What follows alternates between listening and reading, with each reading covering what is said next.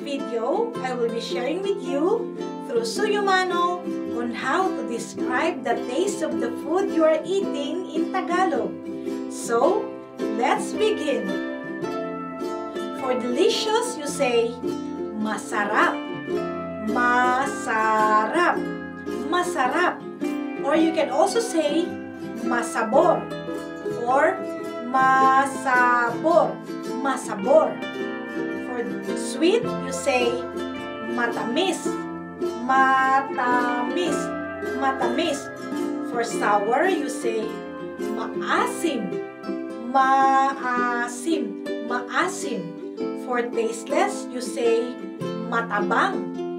Matabang. Matabang. For spicy, you say maanghang. Maanghang. Maanghang.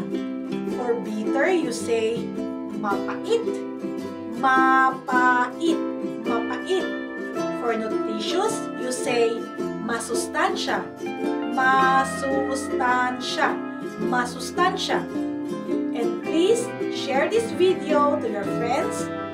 And if you are new here and you like this kind of video, please leave a comment, like, and don't forget to click the subscribe button for more videos.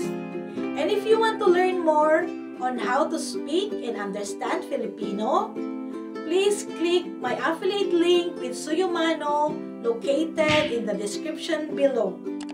Thank you for watching and see you soon!